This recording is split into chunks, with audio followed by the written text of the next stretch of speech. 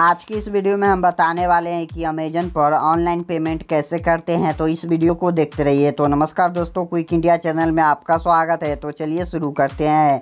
तो अमेजन पर online payment करने के लिए सबसे पहले आपको अपने मोबाइल में अमेजन ऐप को ओपन करना है। अमेजन ऐप ओपन करने के बाद आप जो भी सामान खरीदना चाहते हैं, लेना चाहते हैं, उसके लिए ऊपर में एक सर्च बॉक्स दिया गया आपको सर्च बॉक्स पर क्लिक करना है। क्लिक करने के बाद आप जो भी चीज़ लेना चाहते हैं, उस चीज़ को आपको टाइप कर लेना है। तो चलिए यहाँ पर हम बैग लेना चाहते हैं तो यहाँ पर हम बैग टाइप करते हैं। आप जैसी जो भी चीज़ टाइप कीजिएगा, उससे रिलेटेड आपको बहुत सारे सामान देखने को मिल जाएगा। तो इसमें से आपको जो भी सामान, जो भी पसंद है, उस पर आपको क्लिक करना है। तो चलिए हमको यह बैग पसंद है तो हम इस बैग को लेना चाहते हैं तो हम इस पर क्लिक करते हैं। क्लिक करने के बाद आपको ऊपर की ओर स्क्रॉल करना है। स्क्रॉल करने के बाद नीचे में आपको एक बाई नाउ का ऑप्शन मिलेगा। अब आपको बाई नाउ के ऑप्शन पे क्लिक करना है।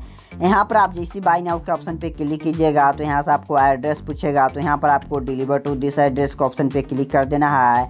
क्लिक करने के बाद यहाँ पर आपको ऑनलाइन पेमेंट करने के लिए यहाँ पर आपको कई सारे ऑप्शन मिल जाते हैं। तो यहाँ पर आप जिस भी चीज़ से ऑनलाइन पेमेंट करना चाहते हैं, उस चीज़ से कर सकते हैं। जैसे कि सबसे फ़र्स्ट में दिया गया है Amazon you Google Pay you भीम UPI आप किसी भी UPI से पेमेंट करना चाहते हैं तो आपको इस पर टिक करना है। इस पर टिक करने के बाद यहाँ से आपको जो भी आपका UPI है अगर आपका अपना यूपीआई है तो यहाँ पर आपको सेटअप अमेजन पे यूपीआई कर देना है। अगर यह दूसरा का कोई यू पी है तो आपको इस पर क्लिक करना है। तो चलिए यहाँ पर मेरा है तो इस पर क्लिक करते हैं। उसके बाद यहाँ से आपको बैंक चूज़ करने के लिए कहेगा कि आपका किस बैंक का है। तो यहाँ पर आपका जो भी बैंक है, उस बैंक को सेलेक्ट कर लेना है।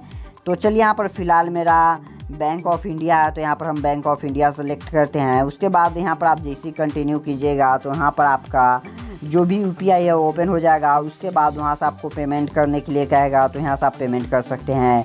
उसके बाद आपको नीचे में एक ऑप्शन मिलता है add debit card ATM card या क्रेडिट कार्ड अगर आप एटीएम कार्ड डेबिट कार्ड या क्रेडिट कार्ड से पेमेंट करना चाहते हैं तो आपको इस पर क्लिक करना है।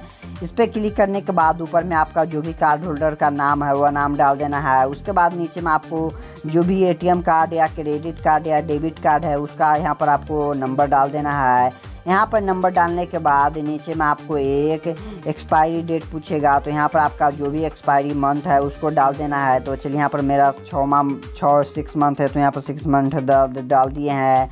उसके बाद यहाँ से आपका एक्सपायरी ईयर पूछेगा तो यहाँ पर जो भी एक्सपायरी ईयर है उसको डाल देना है। तो चलिए मेरा 2021 है तो यहाँ पर डाल देते हैं। उसके बाद यहाँ पर आप, आपको ऐड योर कार्ड के ऑप्शन पे क्लिक करना है। क्लिक करने के बाद आपके मोबाइल पर एक वेरिफिकेशन कोड जाएगा। उस कोड को आप जैसे ही डालिएगा, उसके बाद यहाँ पर आपका जो अमेजन से, जो आप डेबिट कार्ड या क्रेडिट कार्ड जो भी यूज़ कर रहे हैं, उससे आपका पेमेंट हो जाएगा। उसके बाद यहाँ पर आपको नीचे में एक और ऑप्शन मिलता है, नेट बैंकिंग का। अगर यहाँ पर आप नेट बैंकिंग से शॉपिंग करना चाहते हैं, यहाँ पर अगर पेमेंट करना चाहते हैं तो यहाँ पर आपको नेट बैंकिंग पे क्लिक करना है। क्लिक करने के बाद यहाँ पर से आपसे पूछेगा कि आपका किस बैंक का है तो यहाँ पर आपका जो भी बैंक है, उस बैंक को सेलेक्ट कर लेना है। तो चलिए यहाँ पर मेरा स्टेट बैंक ऑफ़ इंडिया का नेट बैंकिंग है तो यहाँ पर हम सेलेक्ट कर लिए हैं। उसके बाद यहाँ पर आपको कंटिन्यू पे क्लिक करना है।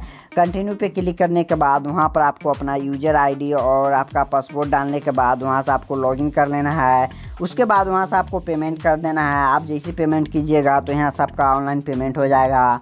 उसके बाद यहाँ पर आपको एक ऑप्शन मिलता है ईएमआई अगर आप ई पे लेना चाहते हैं तो यहाँ पर आप ई एम पर ले सकते हैं। अगर आप कैश ऑन डिलीवरी पे ऑर्डर करना चाहते हैं, यानी कि पे ऑन डिलीवरी पे ख़रीदना चाहते हैं तो आपको इस पर क्लिक करना है।